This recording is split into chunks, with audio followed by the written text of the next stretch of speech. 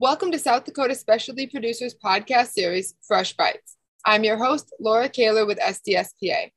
The South Dakota Specialty Producers Association is made up of growers, consumers, and others interested in producing, marketing, and supporting South Dakota specialty crops, meats, and locally made products. In a rural location, an ideal market for producers to connect with are school lunch programs. This can serve as a win win for the schools to have a supply of fresh foods and for producers to have a nearby market.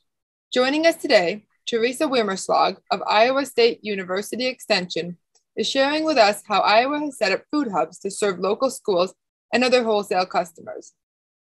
Teresa played a role in starting the, the Iowa Food Hub in the northeast corner of the state and continues to be involved with the Iowa Food Hub Managers Working Group, as well as working to help schools to develop procurement and use plans to make the implementation of local food successful long term. Thanks for being with us today, Teresa. You have a wealth of knowledge on this topic, and I'm excited to share that with the individuals looking into growing farm to school in their own communities. For those less familiar with farm to school, can you briefly summarize what purchasing from local producers can look like for a school? Absolutely. I'm glad to be able to join you today. Um, schools can buy directly from farms or from what we call intermediary markets like food hubs or distributors. In Iowa, most schools are using what we call the micro purchase procurement option and buying either directly from farms or through food hubs. And that split right now is about 50 50, half and half. Obviously, most produce is purchased in the fall, with purchases of storage crops and greenhouse crops continuing through the year.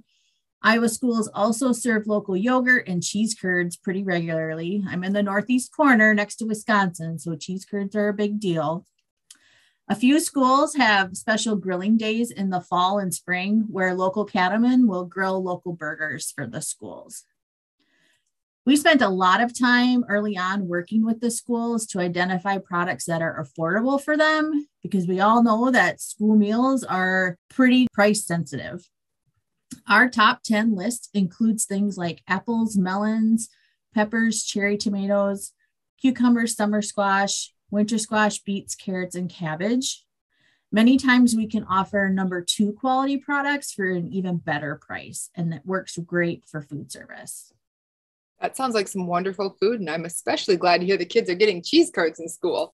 Can you describe what types of structures exist for food hubs working with the schools? This is pretty generic information on food hubs. Um, we all across the country, there's food hubs popping up all over. They come in many forms, and like farms, they're all different. In general, food hubs will fall into three business models.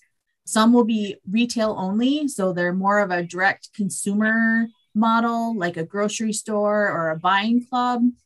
Um, some food hubs are a wholesale model where they want to sell to schools or sell to grocery stores or bigger accounts. And some of them are a mix um, where they'll do a little bit of retail and a little bit of wholesale. Um, we have a mix of all those models in Iowa. The wholesale hubs are usually the ones serving the schools and colleges.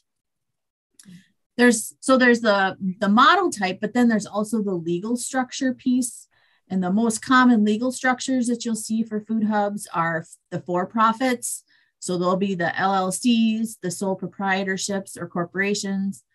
Then there's the nonprofit or the public um, food hubs, where they'll actually be 501c3 organizations. And then there's um, definitely food hubs that'll be cooperatives, where they'll form under that cooperative model and be a group of farmers working together. Again, in Iowa, we have a mix of models or legal structures. Um, the nonprofit model provides more opportunities to apply for grants and to ask for donations from the community. And those wholesale food hubs that we see serving schools tend to rely more on the grant funding and um, the donation line in order to support that farm to school market, which tends to be a tighter margin market. Realizing that there's a lot of different types of food hubs set up and each is going to differ a bit. From a producer's perspective, what is the advantage for them to participate in a food hub? And what are some things that they should consider before they decide to jump on board with that? That's a really great question. And, you know, every farm's going to have to make that decision of what works best for them. Some people see food hubs as another middleman in the supply chain. And sometimes that middleman can be a bad word. Um, I really view food hubs as being supply chain partners. I would prefer to see our small farms and their, the farmers staying on their farm, growing food and producing food. And the food hub can take care of the selling, coordination, and delivery. To really see the value, I think it's helpful to look from the customer perspective. Since food hubs work with a number of producers, they're able to offer a variety of source verified local products. They, they will vet all their farmers for food safety and product quality. They provide a streamlined ordering process and payment process for the customer. They provide delivery to that customer. They can aggregate the necessary quantity for larger schools and they can help access multiple farms in order to achieve more consistent availability. We know that, you know, if we have consistent orders for eight cases of cucumbers every week, that's a lot of pressure to put on one farm. But if we have two or three farms helping to fill that order, then we can provide um, more customer satisfaction. Now, from that school perspective, and really it's any customer perspective, but if a farmer decides to work with a food hub to service schools, those schools are going to expect farmers to provide clean product in new boxes. They expect farmers to carry liability insurance and have some type of food safety training. The farmers will need to have a labeling and traceability system and be able to provide invoices at the time of delivery the schools and the hubs will expect farmers to be upfront about product issues or shortages. They know things happen. And the farmer should be easy to contact, which usually means having a phone number or email where messages can be collected and returned right away. Thanks, Teresa. So those are some really good considerations for producers and for the hubs. So, as the Iowa Food Hub was developed, that's the one that you were pretty involved with helping start.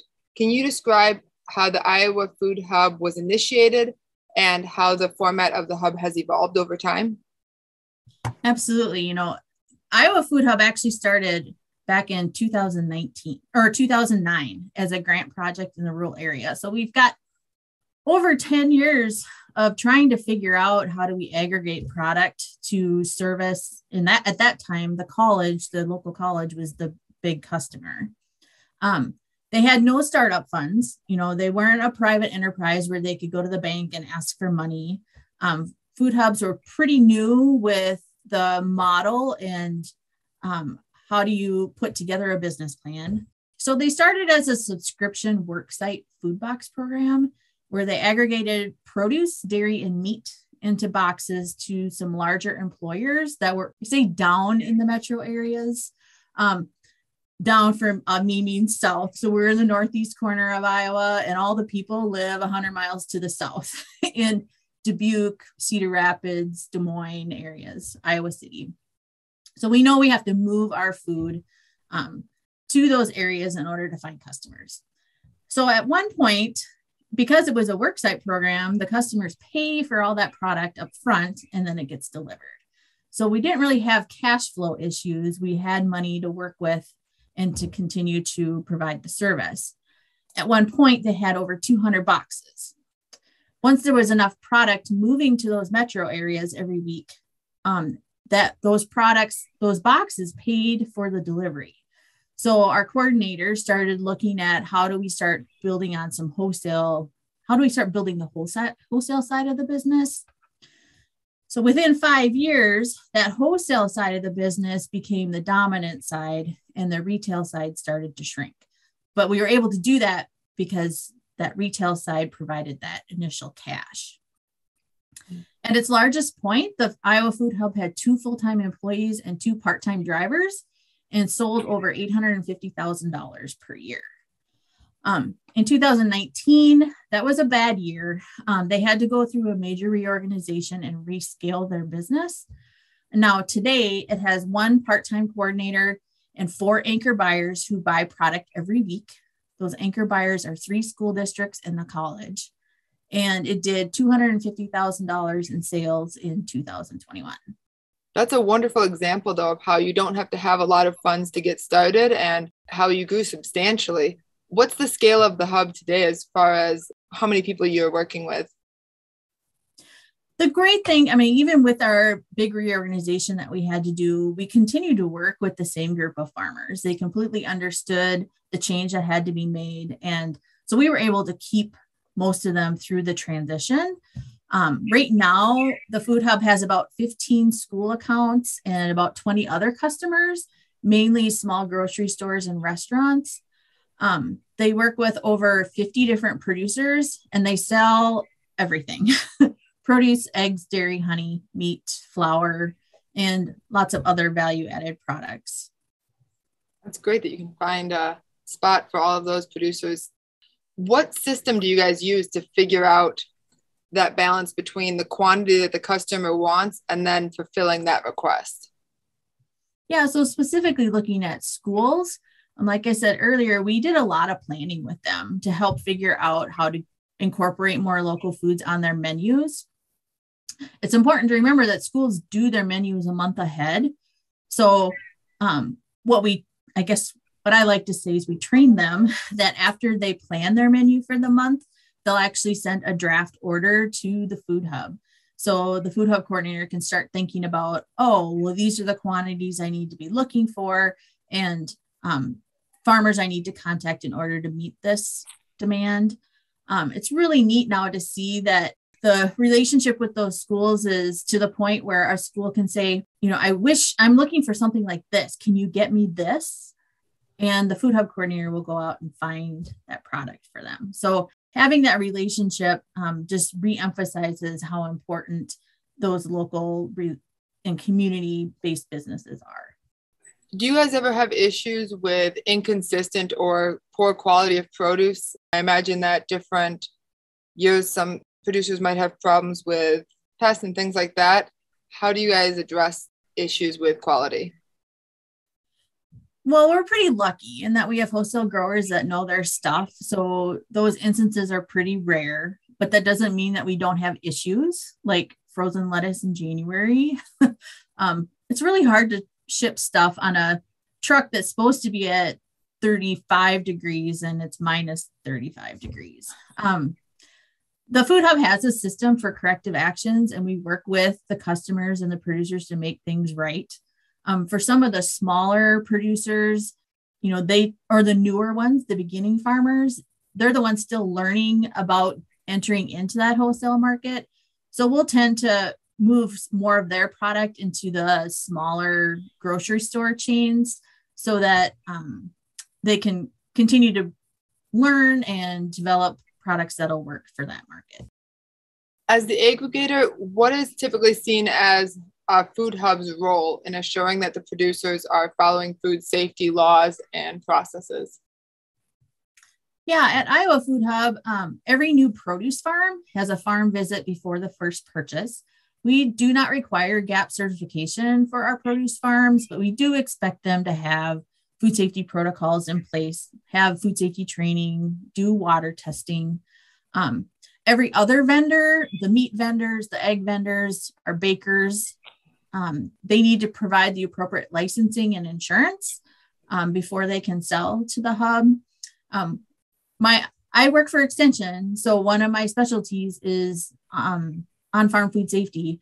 So I'll also provide training opportunities for farms as they need them in order to be able to um, help them with their efforts on their farm.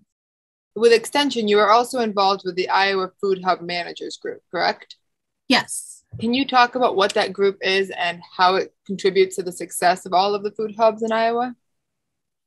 Yeah, the Food Hub Manager Working Group is really neat in that um, it started as a support group of the different food hubs in the state. Um, and they've been meeting now for almost six, seven years. Um, today, there are eight hubs in the group. Some of them are retail hubs, some of them are wholesale hubs. Um, but you know, our attendance is still really steady with everybody who attends. They meet every other week now by Zoom to vent and support each other, um, troubleshoot common questions, um, work through some issues that they're seeing. Um, we're fortunate in that their geographies are different enough. Everybody's serving a different enough area that they really don't see each other as competitors. Um, they see that the potential market for local foods is huge. And right now, we just all need to work together to continue to grow. Do they ever collaborate on projects together? Oh, absolutely. Um, we they recently just received funding from um, some emergency specialty crop block grants to create what we're calling a hub to hub project. Um, we're seeing that there are farms in other in parts of the state that still have product, but it's hard to get that product to the other hubs to sell. So this project will create um, a consistent weekly delivery route, delivery and pickup route, so that um, we can move those products between the hubs so that they can continue to have strong sales during the winter months. That'll be a three-year project. It'll be, and we're just getting started. So um, there's going to be a lot to learn on that one. Sounds like the managers group really helps with ensuring that success and having that support to lean on for the managers. From the school side, you also work quite a bit with helping the schools develop plans for implementing the local food. What are some things that a school can do to succeed long term with purchasing through a hub and using local foods? Yeah, the biggest thing a school can do is just make sure that they're incorporating food into their menu. I keep telling schools that it's important to create a plan in order to do that. Otherwise, it just ends up being, you know, off the cuff orders and there's no real strategy behind it. Um, so we have another program in the state where we've trained some of our local food specialists to be um, farm to school procurement coaches. And those coaches will help the schools create a local food procurement plan so that they can ultimately get to that goal of serving something local every week throughout the school year. Um, and you know, it's definitely incremental. You don't jump to that spot right away. Um, it takes us several years to get to the point where they're making substantial procurement purchases. But you, I found in my experience, you really need to have that plan in order to make sure that um, the food system can build up around that market. For a new school just starting out in this, what are some products that are easy for them to put into that plan? Yeah, so I talked about those top 10, and those are always the ones that I go back to the apples, the watermelons, um, cherry tomatoes, because not only are they affordable and readily should be readily available, um, but they're they require minimum prep in, in order to serve them. So there's not a lot of you don't have to think of recipes and you know different ways to serve them you put the apple or you put the melon slice on the tray and the kids enjoy it what are some other things that you can see as instrumental in boosting farm to school success one of the things that um, we know needs to happen more in our state and it's fun to watch the surrounding states work on this as well is that incentive for local purchases something like a 10 cent a meal program or mini grants to schools in order to boost their local food purchases. In Iowa in 2020, we had a program called the Local Produce and Protein Program. Um, we, the governor used emergency cares funding in order to provide mini grants to schools. Um, at that time, it was $2,000 per school building that um, schools could use to make purchases and over $225,000 was funneled through into the food system with that program. Um, half of those purchases went through food hubs. So we know that that was very important. Now, on the a year later, we did some reflection in the food hub managers working group. We started hearing that school food sales were down. We knew there wasn't funding in 21 for those purchases. And sure enough, once those incentives disappeared, the purchasing decreased. So I think it's the same story. We hear similar stories all across the country of, you know, the incentives are really important to get schools interested in buying food, but we need time to build that procurement planning, build that system so that they can become established buyers and continue to make an impact. What are some resources for schools outside of Iowa that don't have you that they can use to develop a procurement plan?